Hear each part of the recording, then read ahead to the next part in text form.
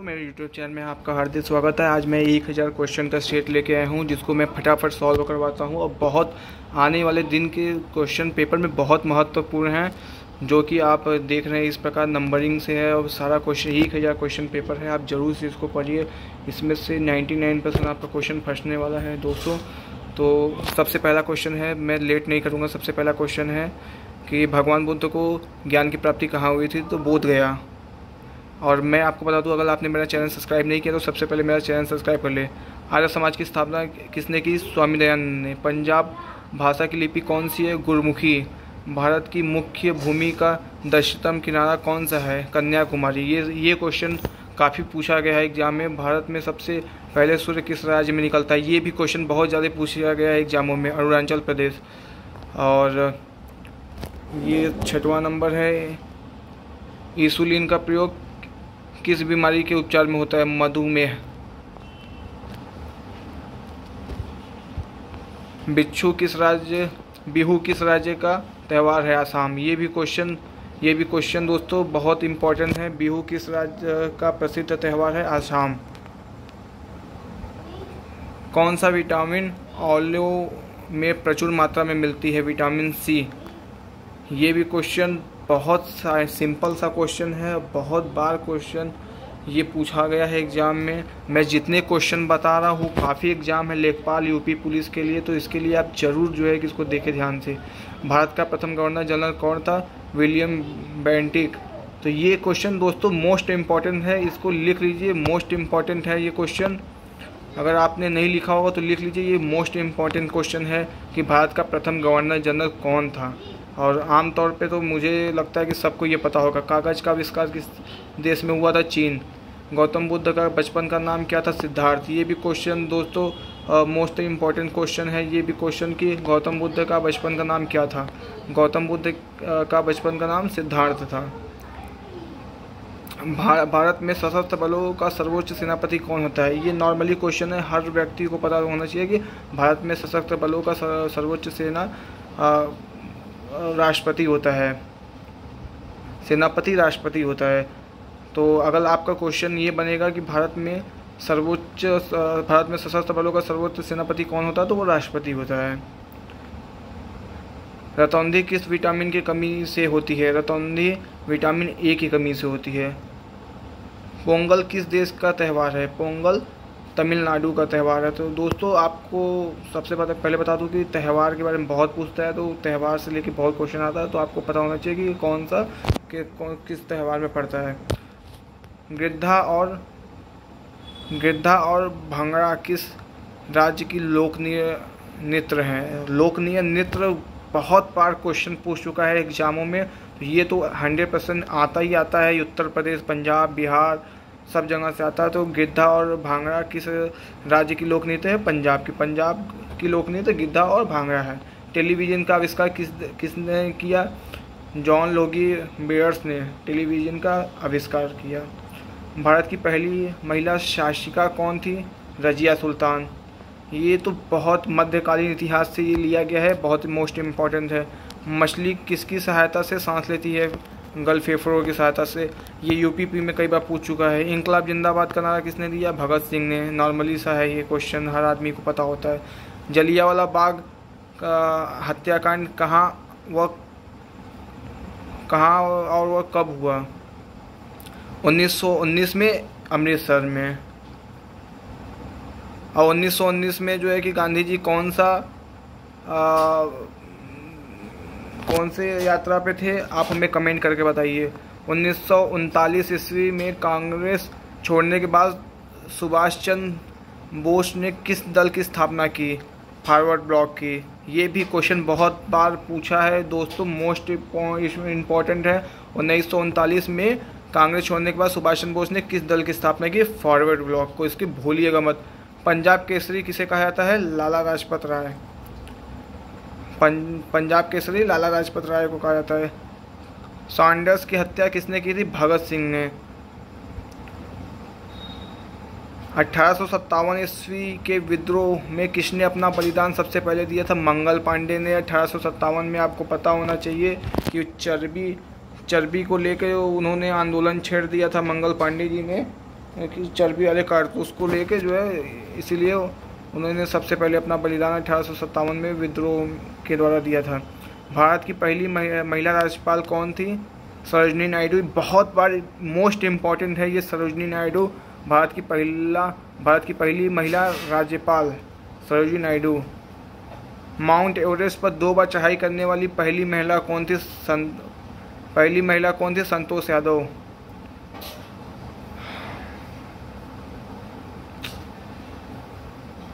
ब्रह्म समाज की स्थापना किसके द्वारा हुई, किसके द्वारा की गई? राजा राम मोहन राय के द्वारा की गई। ब्रह्म समाज का नाम जहाँ आएगा, राजा राम मोहन राय। स्थापना इनके द्वारा की गई थी। स्वामी दयानंद सरस्वती का मूल नाम क्या था? मूल शंकर तो ऐसे समझिए ट्रिक, मूल नाम मूल शंकर स्वामी स्वामी दयाशंकर सरस्वती का मूल नाम क्या था? मूल शंकर वेदों की ओर, वेदों की ओर लोटो। का नारा किसने दिया? दयानंद सरस्वती। लोटो गलत हो गया है, लोटो। वेदों की ओर लोटो का नारा दयानंद सरस्वती जी ने दिया था। रामकृष्ण की स्थापना किसके द्वारा की? तो स्वामी विवेकानंद के द्वारा। वास्को डिगामा भारत कब आया? 1900 अरे चौदह ये भी मोस्ट इंपॉर्टेंट है दोस्तों, वास्को डिगामा भारत कब आया? चौदह में। वास्को वास्को डिगामा कहाँ का रहने वाला था? तो पुर्तगाल का। पुर्तगाल का वास्तु वास्को डिगामा रहने वाला था। हवा महल कहाँ स्थित है? जयपुर। ये भी क्वेश्चन काफ़ी आ चुका है। हवा महल जयपुर में स्थित है। तो हमारे क्वेश्चन हो चुके हैं तैंतीस। अब हम चलते हैं अगले क्वेश्चन पे। तो सबसे पहले फिर से मैं बता दे रहा हूँ अगर आपने जो है कि मेरा चैनल सब्सक्राइब ना किया हो तो मेरा चैनल सब्सक्राइब ज़रूर कर लें। तो यहाँ देखिए अगला क्वेश्चन ये चौंतीसवां क्वेश्चन सिख धर्म का स्थापक किस सिख गुरु को माना जाता है? गुरु नानक। गुरु गुरु नानक को सिख धर्म का स्थापक गुरु नानक को माना जाता है। सिखों का प्रमुख त्यौहार कौन सा है? बैसाखी। आपको पता होगा, अगर आपके पं सरदार दोस्त होंगे तो आपको ज़रूर पता होगा कि बैसाखी होती है। लौह लौह पुरुष लौह पुरुष किस महापुरुष को कहा जाता है? सरदार वल्लभ भाई पटेल, दोस्तों, ये भी लिख लीजिए आप, सबसे मोस्ट इम्पोर्टेंट क्वेश्चन है। लौह पुरुष सरदार वल्लभ भाई पटेल को कहा जाता है। अभी आप हाल में जो है कि गुजरात में कौन सी नदी के तट पे बना है? वो आप हमें कमेंट में बताइए जो है कौन सी नदी के तट में जो है लौह पुरुष का प्रतिमा बना है। नेताजी सुभाष, नेताजी किस महान पुरुष को कहा जाता है? तो नेताजी किस महान, नेताजी का नाम जो है सुभाष चंद्र बोस को कहा जाता है, नेताजी सुभाष चंद्र बोस। दिल्ली स्थित लाल बहादुर शास्त्री की समाधि का क्या नाम है? विजय घाट महाभारत के रचयिता कौन थे? महर्षि देवव्यास ये नॉर्मली क्वेश्चन है, सबको आना चाहिए। अर्थशास्त्र नामक पुस्तक किसने लिखी थी? चाणक्य, कौटिल। अर्थशास्त्र नामक पुस्तक लिखी थी। ठीक है? जिसमें अर्थशास्त्र का ये मतलब है कि राजनीति के बारे में कौटिल्य ने बताया है। जय जवान, जय किसान का नारा किसने दिया? लाल बहादुर शास्त्री जी ने। संविधान सभा का स्थायी अध्यक्ष कौन होता है? कौन था? सॉरी संविधान सभा का स्थायी अध्यक्ष कौन था? डॉक्टर राजेंद्र प्रसाद। दोस्तों, मान लीजिए बीच में अगर मुझसे बोलने में मिस्टेक हो गया हो तो आप सामने से देख के समझ लीजिएगा। और अगर आपने अभी तक भी सब्सक्राइब नहीं किया तो सब्सक्राइब लाइक कमेंट फटाफट आप करिए और शेयर करिए दोस्तों को, ये सब मोस्ट इंपॉर्टेंट है आने वाले एग्ज़ाम में। संविधान सभा की प्रारूप समिति के अध्यक्ष कौन थे? डॉक्टर भीमराव अंबेडकर। विश्व रेड क्रॉस दिवस कब किस तारीख को मनाया जाता है? आठ मई। सूर्योदय सूर्योदय का देश के नाम से कौन सा प्रसिद्ध है? जापान। जापान को सूर्योदय का देश कहा जाता है। अंतर्राष्ट्रीय महिला दिवस किस तिथि में मनाया जाता है? अंतर्राष्ट्रीय महिला दिवस 8 मार्च को मनाया जाता है। ये भी मोस्ट इंपॉर्टेंट है क्योंकि क्योंकि महिल, महिला के प्रति आजकल सरकार ज़्यादा ही जागरूक है तो इसको जो है ज़रूर से देख लीजिएगा। अंतर्राष्ट्रीय महिला दिवस 8 मार्च को मनाया जाता है। क्षेत्रफल की दृष्टि से क्षेत्रफल की दृष्टि से भारत में सबसे छोटा राज्य कौन सा है? ये क्वेश्चन दोस्तों मैं कितनी बार को पेपर में देख चुका हूँ, गोवा। तो क्षेत्रफल की दृष्टि से सबसे छोटा राज्य गोवा है। और ओणम किस राज्य का, वो ओणम किस राज्य की प्रसिद्ध त्यौहार है? केरल। दिल्ली भारत की राजधानी कब मना दिल्ली भारत की राजधानी कब बनी 1911 सबसे चमकीला ग्रह कौन सा है? शुक्र। भारत का राष्ट्रीय पशु कौन सा है? बाघ। भारत का राष्ट्रीय पक्षी कौन सा है? मोर। भारत का राष्ट्रीय जलीय जीव कौन सा है? गंगा डॉल्फिन। भारत का राष्ट्रीय फूल कौन सा है? आम। भारत का राष्ट्रीय राष्ट्रीय फूल भारत का राष्ट्रीय फल कौन सा है? आम भारत का राष्ट्रीय फूल कौन सा है? कमल, भारत का राष्ट्रीय पेड़ कौन सा है? बरगद, भारत का राष्ट्रीय खेल कौन सा है? हॉकी, भारत के राष्ट्रीय झंडे की लंबाई और चौड़ाई में अनुपात कितने होते हैं? तीन बाई दो। ये क्वेश्चन भी दोस्तों मोस्ट इंपॉर्टेंट है। ये कई बार पेपर में आ चुका है। भारत का राष्ट्रीय गान किसने लिखा? ये भी नॉर्मली सा क्वेश्चन है। रविंद्रनाथ टैगोर। राष्ट्रीय गीत कौन, किसने लिखा है? वंदे मातरम। भारत का राष्ट्रीय गीत, वंदे मातरम। भारत का राष्ट्रीय गीत, भारत का राष्ट्रीय गीत किसने लिखा है? बंकिम चंद्र चटर्जी। भारत का राष्ट्रीय गीत, वंदे मातरम है। और राष्ट्रगान किसने लिखा है? रविंद्रनाथ टैगोर ने। भारत का राष्ट्रीय गीत किसने लिखा है? बंकिम चंद्र चटर्जी। महात्मा गांधी को राष्ट्रपति, सबसे पहले किसने कहा? नेताजी सुभाष चंद्र बोस ने। आपको पता होगा कि जो है नेताजी सुभाष चंद्र बोस के बारे में अगर आपने जीवनी नहीं पढ़ा तो अवश्य से पढ़ी बहुत रोचक कहानी है।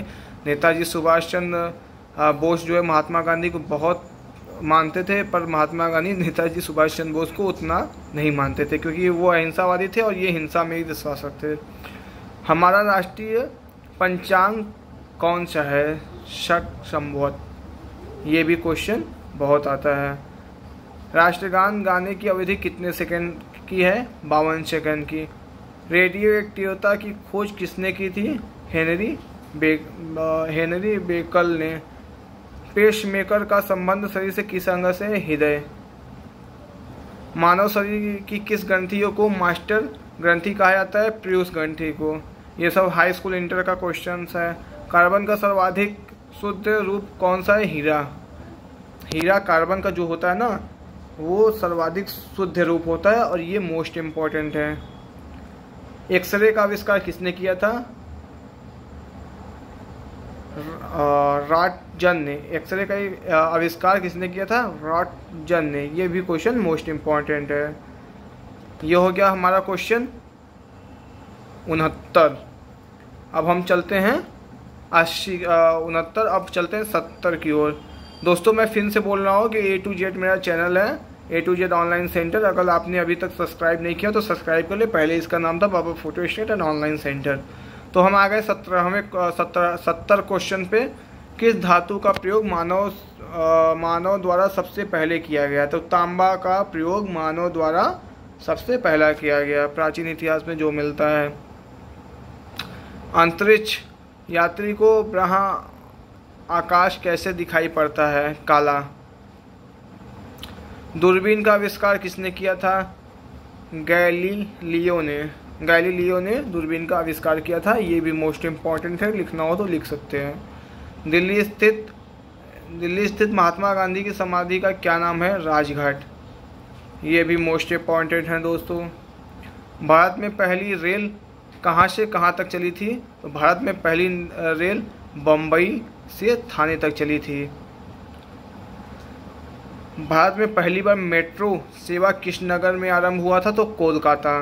ये आप कंफ्यूज मत होइएगा हमेशा यहाँ पे गलती हो जाती है कोलकाता यहाँ पे और आ, वो वहाँ पे क्वेश्चन बम्बई में लगा देते हैं। तो अगर पूछेगा कहाँ से कहाँ तक चली थी रेल के बारे में पूछेगा पहली बार तो आपको मुंबई लगाना है। बम्बई इस समय वर्तमान में मुंबई नाम है और पहले बम्बई नाम था बम्बई से थाने तक चली थी। बम्बई से थाने तक याद रखना है।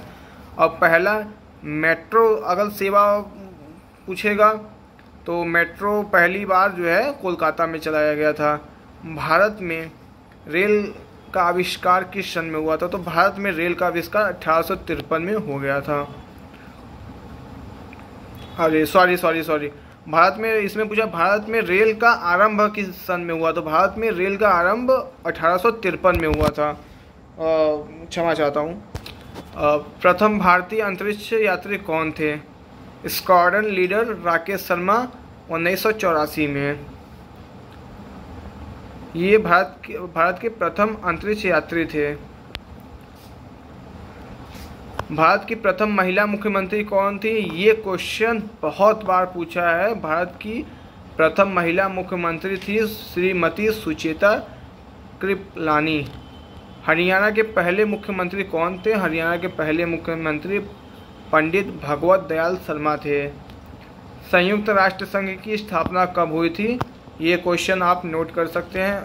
संयुक्त राष्ट्र संघ की स्थापना कब हुई थी? संयुक्त राष्ट्र संघ की स्थापना 24 अक्टूबर 1945 में हुई थी। संयुक्त राष्ट्र संघ का मुख्यालय कहाँ स्थित है? संयुक्त राष्ट्र संघ का मुख्यालय न्यूयॉर्क में स्थित है। संयुक्त संयुक्त राष्ट्र संघ के पहले महासचिव कौन थे? संयुक्त राष्ट्र संघ के पहले महासचिव त्रिवेली थे। इस समय संयुक्त राष्ट्र संघ के कितने देश सदस्य हैं? तो एक सौ तिरानवे देश जो है संयुक्त राष्ट्र संघ के सदस्य हैं। संयुक्त राष्ट्र संघ सुरक्षा परिषद के कितने संयुक्त राष्ट्र संघ सुरक्षा परिषद के कितने देश सदस्य होते हैं? तो जो संयुक्त राष्ट्र संघ सुरक्षा परिषद होता है, उसमें कितने देश सदस्य होते हैं? तो उसमें पंद्रह देश जो है सदस्य होते हैं।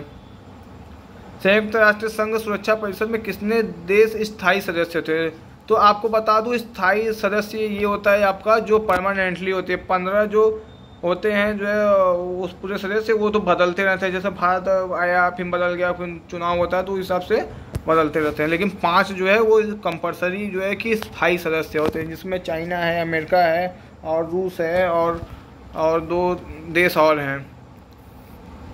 अंतर्राष्ट्रीय न्यायालय कहाँ स्थित है? अंतर्राष्ट्रीय न्यायालय द हेग हॉलैंड में स्थित है। ये क्वेश्चन अभी हाल के पेट के एग्ज़ाम में आया था कि अंतर्राष्ट्रीय न्यायालय कहाँ स्थित है? द हेग हॉलैंड में है। संयुक्त राष्ट्र संघ के वर्तमान महासचिव कौन है? बान की मून संयुक्त राष्ट्र संघ के वर्तमान महासचिव बान की मून है। संयुक्त राष्ट्र महासभा में हिंदी में भाषण देने वाले भारतीय कौन थे? तो बहुत प्रिय हमारे नेता अटल बिहारी वाजपेयी जी, जो कि संयुक्त राष्ट्र महासभा में हिंदी में भारत देने वाले भारतीय थे। संयुक्त राष्ट्र संघ सुरक्षा परिषद के अस्थायी सदस्यों की कितने वर्ष के लिए चुने जाते हैं? तो दो वर्ष के लिए। दो वर्ष के लिए संयुक्त राष्ट्र संघ में अस्थायी सदस्य चुने जाते हैं। दो वर्ष के बाद फिर से चुनाव होता है। संयुक्त राष्ट्र संघ का उन्नीस सौ सदस्य कौन सा देश बना? दक्षिण सूडान। मतलब सबसे लास्ट देश। एक सौ तिरानवेवा का मतलब सबसे लास्ट देश सत्य दक्षिण सूडान। तो किस विटामिन की कमी से खून का रुकाव बंद हो नहीं होता है? विटामिन के के अगर, अगर आपके शरीर में विटामिन के की कमी हो जाएगी तो आपका खून रुकना बंद नहीं होगा। हिंदी दिवस कब मनाया जाता है? चौदह सितंबर को। ये क्वेश्चन मोस्ट इंपॉर्टेंट है। न जाने कितनी बार पूछ चुका है क्वेश्चन में। ऐसे देगा चौदह सितंबर, बारह सितंबर, दस सितंबर। तो आपको डेट याद रखनी है चौदह सितंबर। तो हिंदी दिवस कब मनाया जाता है? चौदह सितंबर। संविधान के किस अनुच्छेद द्वारा हिंदी को राष्ट्रीय गान घोषित किया गया है? तो आपको पता होना चाहिए संविधान के अनुच्छेद तीन में। हिंदी को राष्ट्रभाषा घोषित किया है, राष्ट्रभाषा घोषित किया गया है।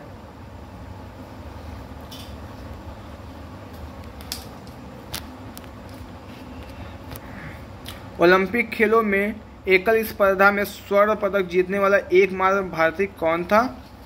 अभि अभिनव बिद्रा।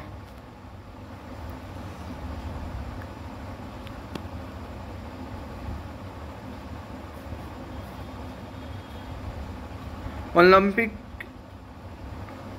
ये थोड़ा कोई क्वेश्चन पुराना है तो इसको आप हटा दीजिएगा। ओलंपिक खेल का ये जो है कि ओलंपिक इस समय वर्तमान में तो आप जान रहे हैं ओलंपिक में स्वर्ण पदक किसने लाया? नीरज चोपड़ा ने लाया है। तो इसको जो है कि आप ये पुराना क्वेश्चन है तो इसको आप यहाँ पे ओलंपिक ने स्वर्ण पदक अभी कौन लाया है? नीरज चोपड़ा ने लाया। नीरज चोपड़ा। नीरज जी ने लाया है, नीरज नीरज चोपड़ा, नीरज सॉरी आप तो समझ लीजिएगा नीरज चोपड़ा ने अभी वो जो है कि सेना से हैं जो है, ओलंपिक खेलों का आयोजन किस वर्ष ओलंपिक खेलों का आयोजन कितने वर्षों के बाद होता है? चार वर्षों के बाद। सन 2016 में ओलंपिक खेल कहाँ होंगे? कहाँ होंगे? ये पुराना क्वेश्चन है रियो डी जिनोरो में। 2016 में ओलंपिक खेल कहाँ हुआ था? रियो डी जिनोरो में। अंतर्राष्ट्रीय मानवाधिकार कब मनाया जाता है बहुत मोस्ट इम्पोर्टेंट क्वेश्चन है 10 सितंबर। हरियाणा की कौन सी नस्ल की भैंस प्रसिद्ध है? मुर्रा। प्रसिद्ध शीतला माता मंदिर कहाँ स्थित है? गुड़गांव। गुड़गांव में बहुत प्रसिद्ध मंदिर है माँ शीतला का। विशाल हरियाणा पार्टी किसने बनाई थी? राज वीरेंद्र सिंह ने। दोस्तों, सौ क्वेश्चन का मैंने बता दिया। अब इसके बाद मैं सौ सौ क्वेश्चन का आप मेरा चैनल सब्सक्राइब करिए वीडियो को अधिक से अधिक शेयर करिए। ये आने वाले आगामी एग्ज़ाम के लिए मोस्ट इंपॉर्टेंट है। अगर आपने सब्सक्राइब नहीं किया है तो आप सबसे पहले सब्सक्राइब कर लें। सौ क्वेश्चन का जो है कि ये मेरे चैनल का नाम है A to Z online centre इसके पहले था Baba photo state and online centre ज़रूर से ज़रूर सब्सक्राइब करें और इसको आप मोस्ट इंपॉर्टेंट है दोस्तों अब ज़रूर से जो है इस क्वेश्चन को पढ़ें। और मैं अगला जो है कि अभी सौ तक है, सौ के बाद में आप सौ सौ सौ करके आपको एक हज़ार क्वेश्चन मैं मोस्ट इंपॉर्टेंट बता दूँगा। उसके बाद आपको रीजनिंग का भी क्वेश्चन मैं सॉल्व कराऊँगा। जीएस पे जाहिद फोकस करूँगा, क्योंकि जीएस बहुत बड़ा है। तो दोस्तों, मेरा यूट्यूब चैनल देखने के लिए बहुत बहुत धन्यवाद, और इसको अधिक से अधिक शेयर करें, जिससे आपके फ्रेंडों के पास भी पहुँच सके। और आप आगामी एग्ज़ामों में सफलता हों। आगामी एग्ज़ामों में आपको सफलता प्राप्त करें। माँ विंध्यवासिनी, आप पे दया हमेशा बनाए रहें। आप हमेशा सफलता की ओर अग्रसर रहें धन्यवाद।